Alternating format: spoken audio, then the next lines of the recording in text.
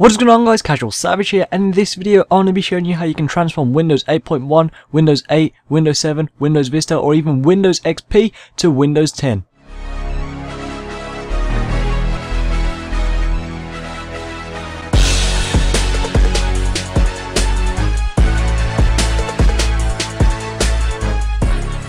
Now with this transformation pack, it includes the login screen, themes, wallpapers, cursors, fonts, sounds, icons, modern UI or Metro UI, virtual or multiple desktops, Cortana-like search bar, start menu, and more. So first of all, what you need to do is come to this website, which will be in the description, and this is what it will look like. See, Windows 10 Transformation Pack 3.0, Windows 8.1, Windows 8, Windows 7, Windows Vista, Windows XP, all compatible for this.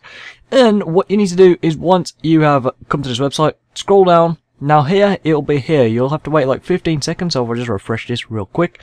You'll see, well you have to wait 20 seconds and then the download link will appear. And you can see right there, there's the download link. So all you need to do is click it and it's going to begin to download. You can see I've already got it there, so I don't need to download it again. No surveys, it's that quick. So once you've done that, you can cancel or close out of that.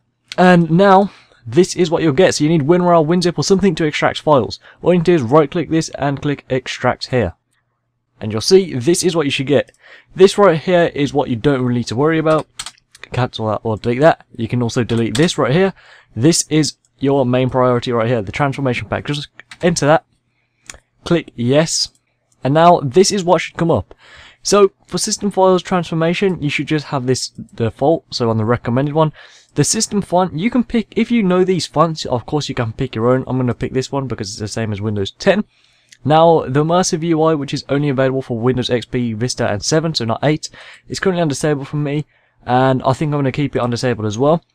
And now here you can see we can have a virtual desktop. Large icon size is only for XP, so make sure you read this and just go through it really uh, quickly. And yeah, um, I'm going to leave everything the same. And also uncheck this right here because otherwise it will change your homepage for your browser.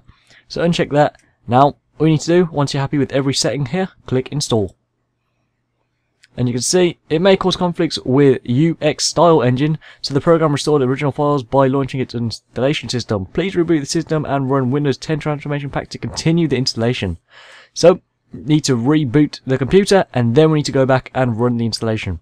Okay, so I've rebooted my computer and we're just going to go ahead and run this transformation pack again. So again, just go ahead and click yes. And now this has come up and every setting seems to be the same as last time. Just uncheck this right here again so it doesn't change it to your homepage and go ahead and click install. Okay, so that took about 4 minutes and now it should just go ahead and do something else, so just sit and wait for it. Okay, here we go, and now it's going to be changing and you can see the start bar or the taskbar has already started to change. And there we go! It is complete. Now you can see once it is done you will need to restart your system. So I'm going to cancel it for now because I'm still recording. And yeah, there we go. You can see we've even got this search bar here so we can just go ahead and search Amazon. Oh, I spelled that completely wrong. It's going to use my default browser which is Google Chrome.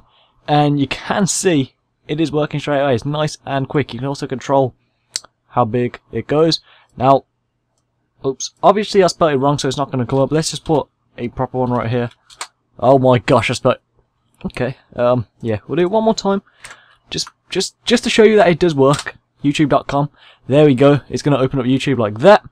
Um, we just go ahead and close out of that, and close out of that, and close out of that, and that is what it looks like. So if we go ahead and open up a folder, for example, here.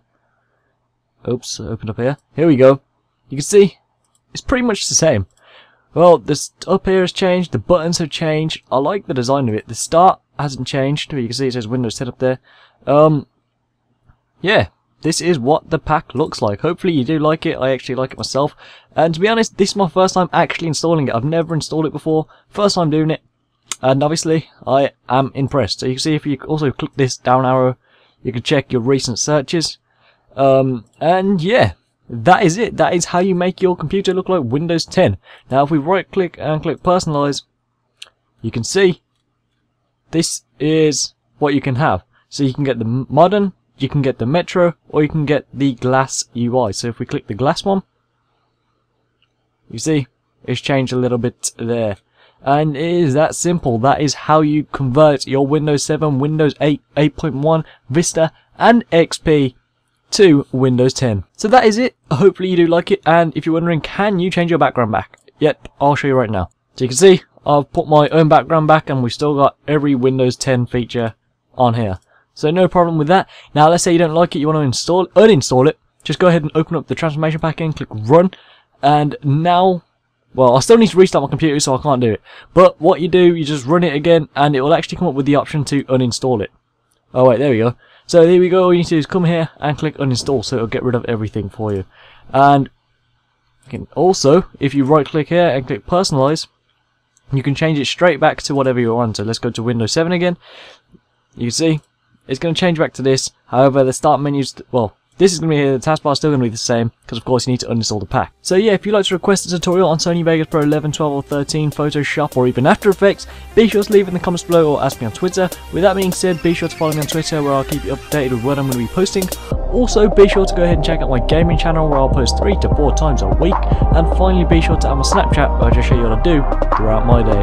See, so yeah, it's been Casual Savage here, thanks so much for watching, please subscribe, rate, and peace.